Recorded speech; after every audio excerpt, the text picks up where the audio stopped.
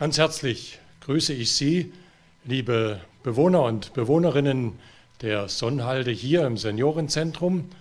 Und natürlich grüßen wir auch Sie, liebe Patienten im Krankenhaus drüben. Seien Sie herzlich gegrüßt, wenn Sie sich dazugeschaltet haben zu unserer Freitagsandacht, zu diesem Gottesdienst. Wie lieblich ist der Mayen, so singt es dieses Lied. Vielleicht haben Sie es auch wiedererkannt.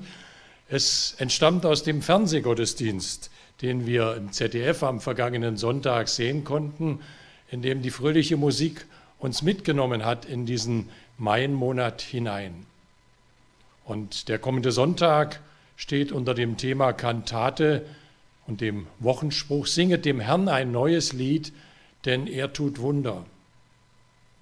Kann man das singen in dieser Zeit, in der wir doch so eingeschränkt sind?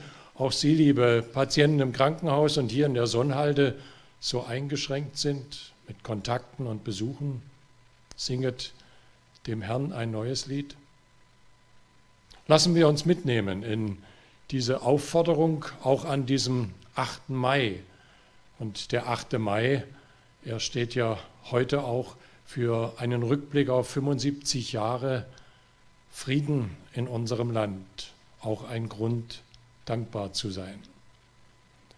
Ich werde auf beides versuchen, in diesem Gottesdienst einzugehen. Lassen Sie uns diesen Gottesdienst feiern im Namen Gottes, des Vaters und des Sohnes und des Heiligen Geistes. Amen. Nun jauchzt dem Herrn alle Welt. Wer den Text kann, den lade ich ein, in vier Strophen dieses bekannten und auch ermutigenden Liedes mit einzustimmen.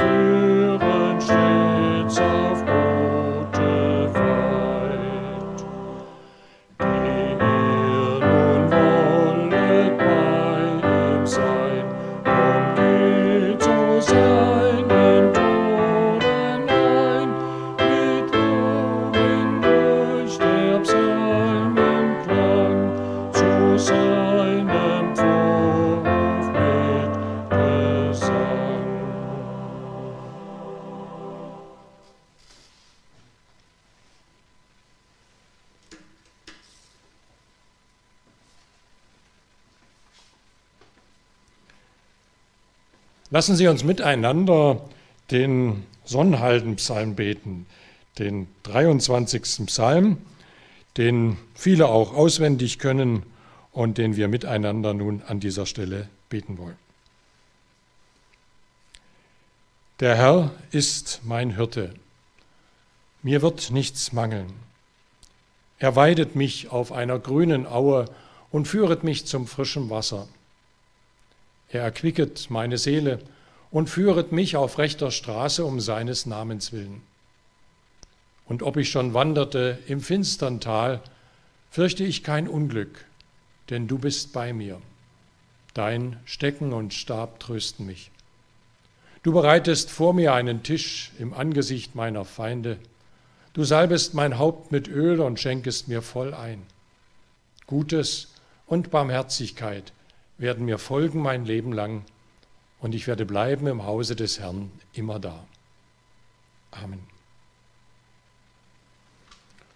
Und auch das Glaubensbekenntnis wollen wir miteinander sprechen, das uns verbindet auch als Kirche miteinander und indem wir ein altes Bekenntnis sprechen, klinken wir uns ein in die Tradition der Väter und Mütter, die den Glauben in diesen Worten zusammengefasst hat. Ich glaube an Gott, den Vater, den Allmächtigen, den Schöpfer des Himmels und der Erden. Und an Jesus Christus, seinen eingeborenen Sohn, unseren Herrn, empfangen durch den Heiligen Geist, geboren von der Jungfrau Maria, gelitten unter Pontius Pilatus, gekreuzigt, gestorben und begraben, hinabgestiegen in das Reich des Todes, am dritten Tage auferstanden von den Toten, aufgefahren in den Himmel. Er sitzt zur Rechten Gottes, des allmächtigen Vaters. Von dort wird er kommen, zu richten die Lebenden und die Toten. Ich glaube an den Heiligen Geist, die heilige christliche Kirche, Gemeinschaft der Heiligen, Vergebung der Sünden, Auferstehung der Toten und das ewige Leben. Amen. Ich möchte mit uns beten. O Gott, du Urgrund unseres Lebens, du Quelle unseres Lebens, wir sind eingeladen zu singen in Lob und Freude, aber auch in Klage und Trauer. Mit Herz und Mund wollen wir dir singen und nicht nur alleine, sondern auch mit anderen. Auch wenn das in dieser Zeit schwer geworden ist, wissen wir uns verbunden untereinander in dem Gesang deines Volkes. Ich singe dir mit Herz und Mund und mache auf Erden kund, was mir von dir bewusst. Ja, Herr, das will ich tun. Amen. Lassen Sie uns einstimmen, dieses Lied Ich singe dir mit Herz und Mund.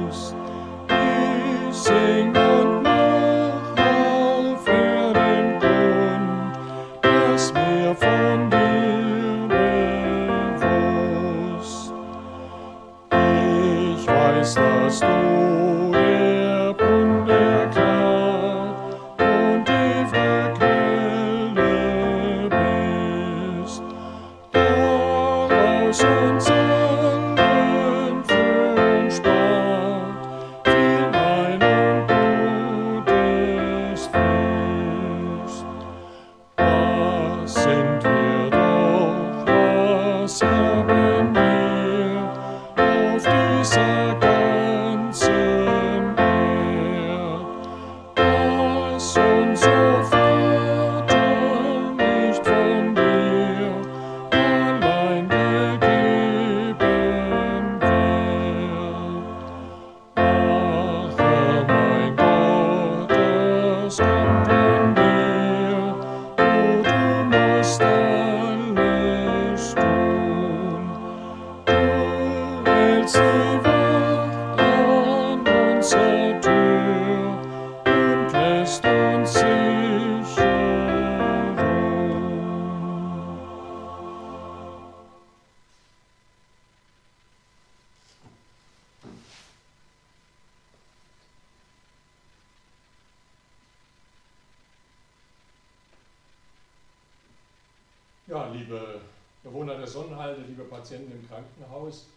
Habe es schon eingangs gesagt, wie geht das zusammen, fröhliche Lieder zu singen und gleichzeitig an diesem Tag zurückzublicken, an diesem Gedenktag des 8. Mai, auf all die Schrecken und Wirren und das Leid, das der Zweite Weltkrieg ausgelöst hat.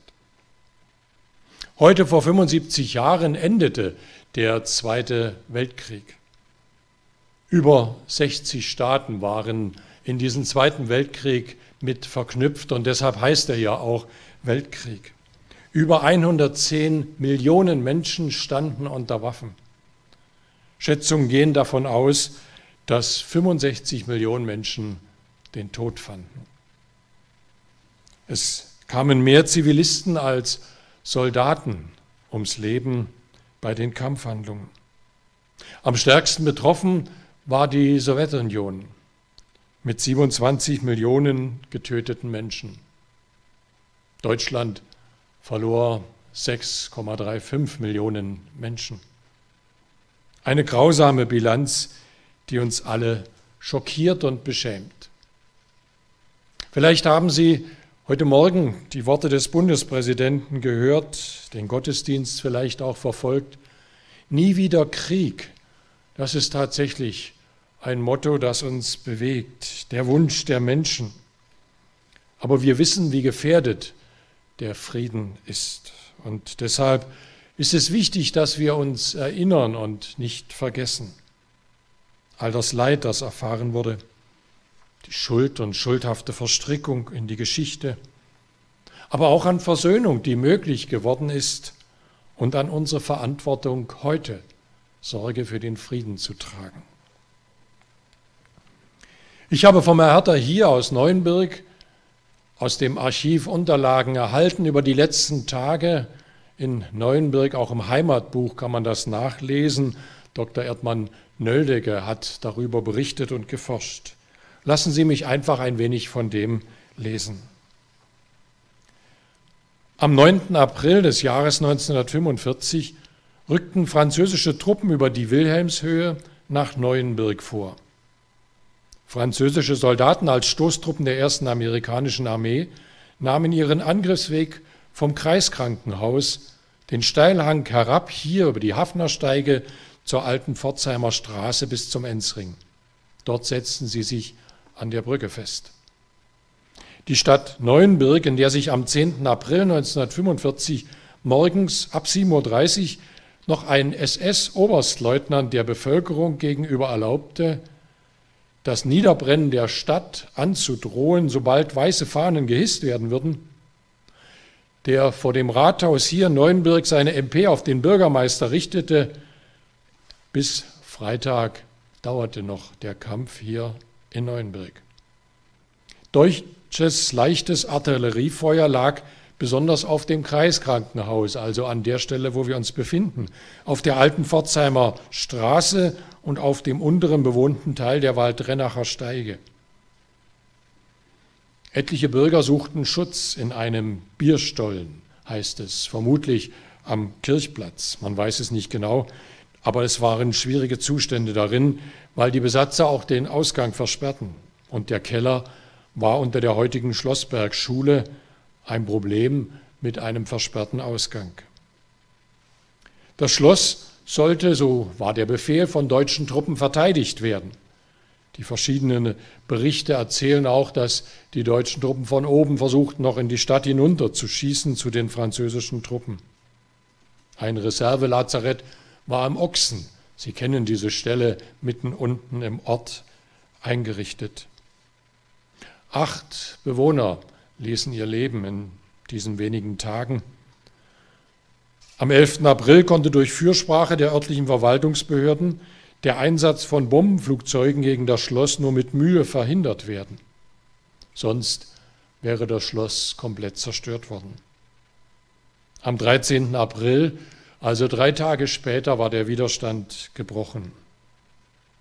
Die folgenden Wochen und Monate gehören zu den schwierigsten der gesamten Kriegszeit.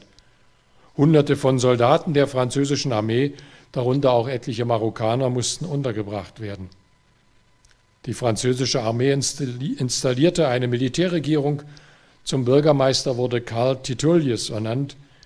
Ihm oblag die schwierige Aufgabe, nach dem Kriegsende unter den Bedingungen der Besatzungsregierung die Not der Bevölkerung zu lindern. Ja, leider können wir nicht direkt in Kontakt treten. 75 Jahre, ja, wenn ich in die Sonnhalde schaue, dann sind vielleicht manche dabei, die auch das erlebt haben, zumindest diese Tage auch als Kinder und Jugendliche. Es heißt, der Zeitzeugen werden weniger. Wo sind die, die erzählen können von diesem Schrecken noch, von der Angst, von dem, was in Pforzheim war und was dann auch hier in Neuenburg erlebt wurde. Wie war der 8. Mai 1945? War das ein Sieg oder eine Niederlage? Auch ein Thema, das immer wieder gestellt wird und auch in diesem Jahr den Bundestag beschäftigt hat. Kapitulation, Verlust oder Befreiung von Unrecht und Fremdherrschaft? Richard von Weizsäcker, der in diesem Jahr seinen 100. Geburtstag gefeiert hätte, der damalige Bundespräsident 1985 hat eine bahnbrechende Rede gehalten, indem er diesen Tag, den 8. Mai, als Tag der Befreiung bezeichnet hat.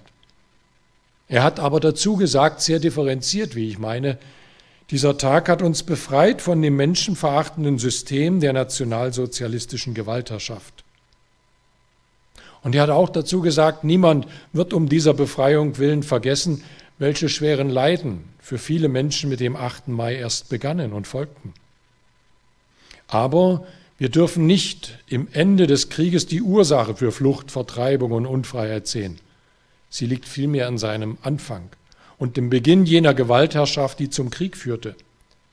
Wir dürfen den 8. Mai nicht vom 30. Januar 1933 trennen. Ich denke, das ist ein wichtiger Gedanke und dass das für viele Menschen, die diesen 8. Mai auch noch erlebt und erfahren haben, schwierig war und auch lange Zeit danach noch schwierig war, hat ein Altgemeinderat Erhard Bayer beschrieben.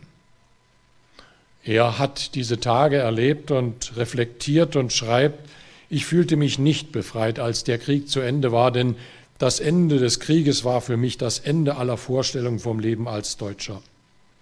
Seit meinem zehnten Lebensjahr, so schreibt er, war ich geprägt vom Nationalsozialismus mit seinen Parolen und ich war stolz, Jungvolk und Hitlerjugend zu sein. Einer Nation, die die Führungsrolle in Europa übernimmt.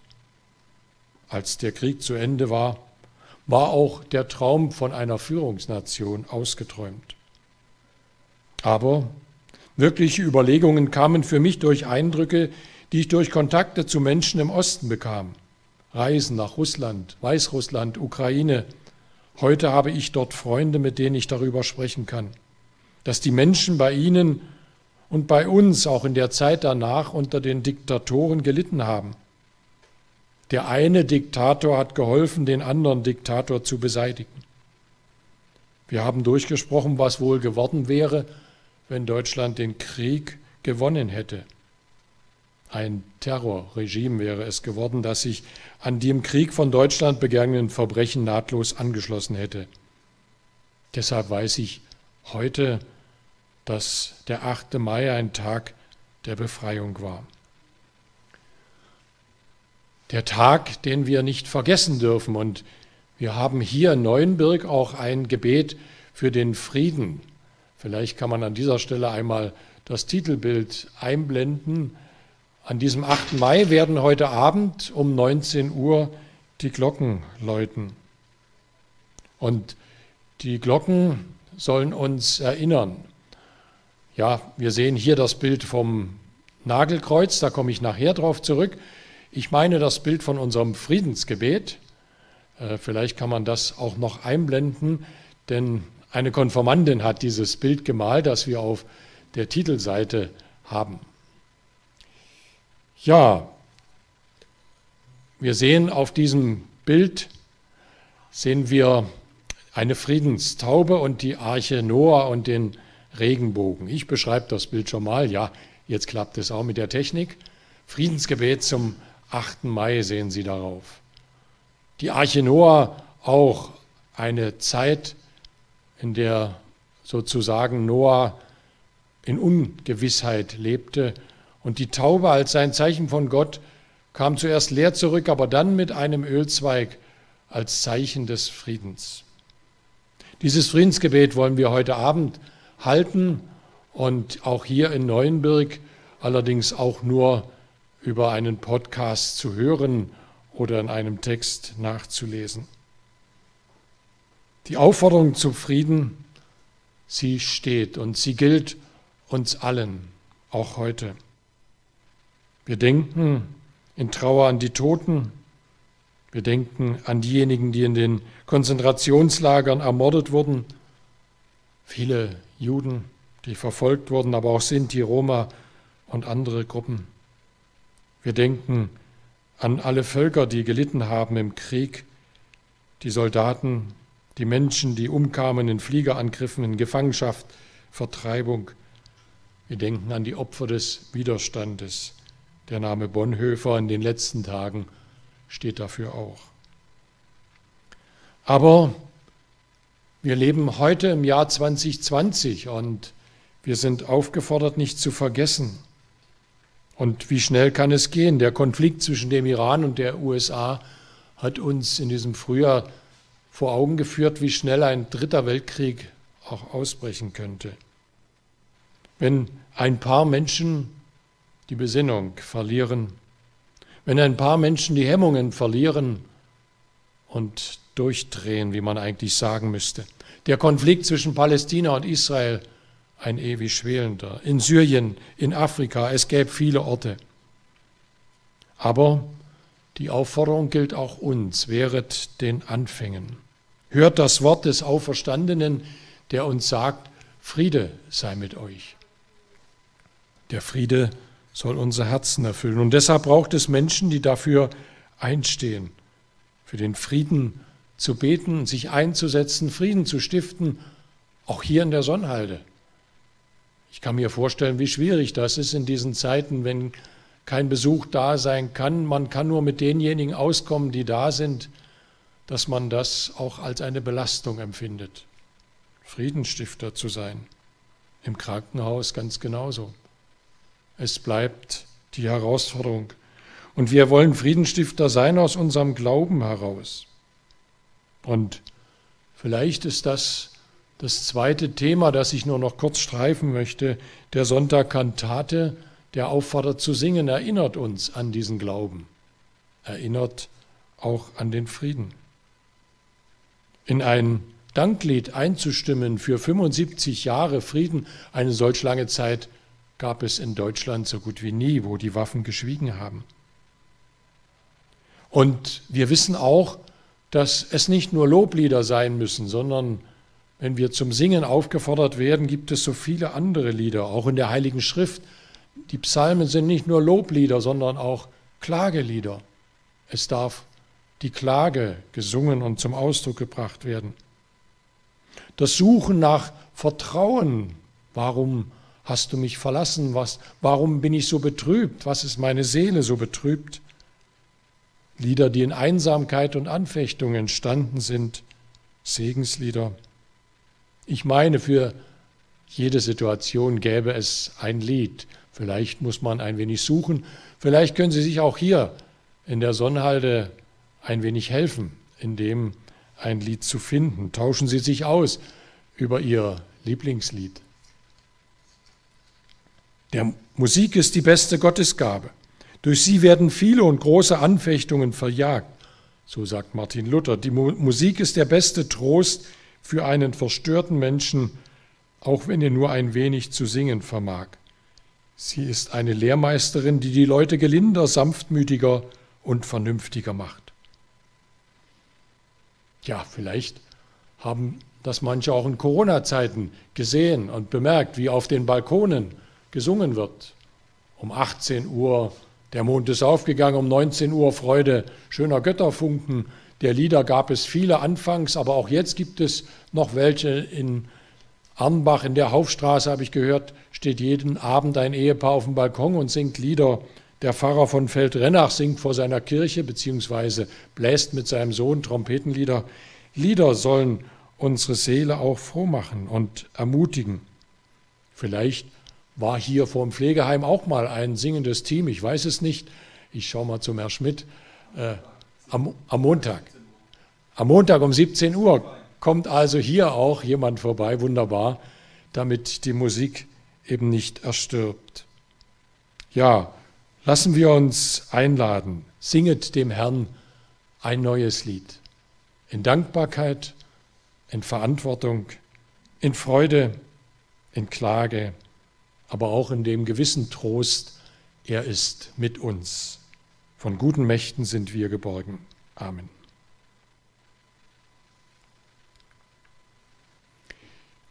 Ja, nun komme ich zu diesem anderen Bild, das wir schon kurz gesehen haben, dieses Nagelkreuz, das aus der Versöhnungslitanei von Coventry stammt.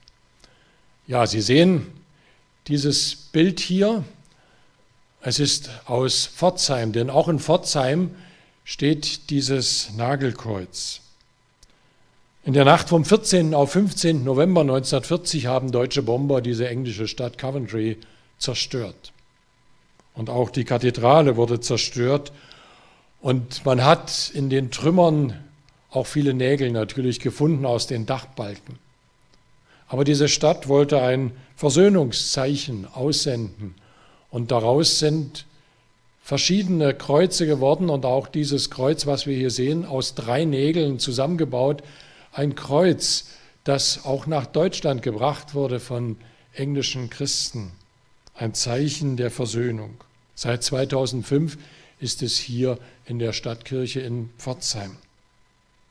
Und die Litanei von Coventry wird jeden Freitag, also auch heute, in Kommunitäten, in Orten und auch in Coventry und an solchen Orten, wo dieses Versöhnungsgebet gebetet wird, jeden Freitag sozusagen zum Ausdruck gebracht. Deshalb möchte ich das auch mit Ihnen tun und lade ein, immer zu antworten mit dieser Wiederholung, Vater, vergib. Alle haben gesündigt und ermangeln des Ruhms, den sie bei Gott haben sollten. Den Hass, der Rasse von Rasse trennt, Volk von Volk, Klasse von Klasse. Vater, vergib. Das Streben der Menschen und Völker zu besitzen, was nicht ihr eigen ist. Vater, vergib. Die Besitzgier, die die Arbeit der Menschen ausnutzt und die Erde verwüstet. Vater, vergib. Unseren Neid auf das Wohlergehen und das Glück der anderen. Vater, vergib. Den Hochmut, der uns verleitet, auf uns selbst zu vertrauen und nicht auf Gott. Vater, vergib. Seid untereinander freundlich, herzlich, vergebt einer dem anderen, wie Gott euch vergeben hat, in Jesus Christus. Und so wollen wir einstimmen das Gebet, das er uns gegeben hat. Vater unser im Himmel, geheiligt werde dein Name, dein Reich komme, dein Wille geschehe wie im Himmel, so auf Erden. Unser tägliches Brot gib uns heute und vergib uns unsere Schuld, wie auch wir vergeben unseren Schuldigern. Und führe uns nicht in Versuchung, sondern erlöse uns von dem Bösen. Denn dein ist das Reich und die Kraft und die Herrlichkeit in Ewigkeit. Amen.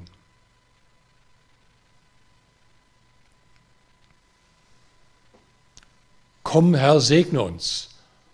Das ist auch ein Lied, das um Frieden singt und von Gottes Segen ich lade ein, wenn Sie können, in dieses Lied mit einzustimmen.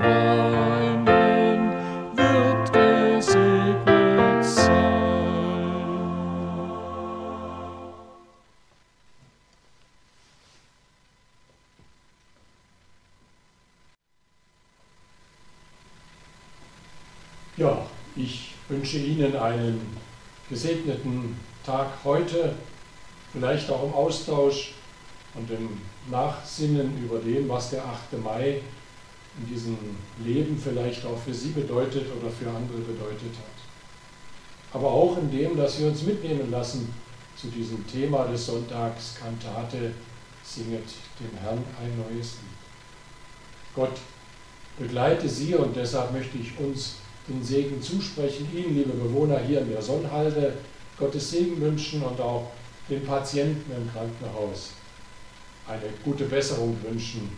Gott begleite und segne sie.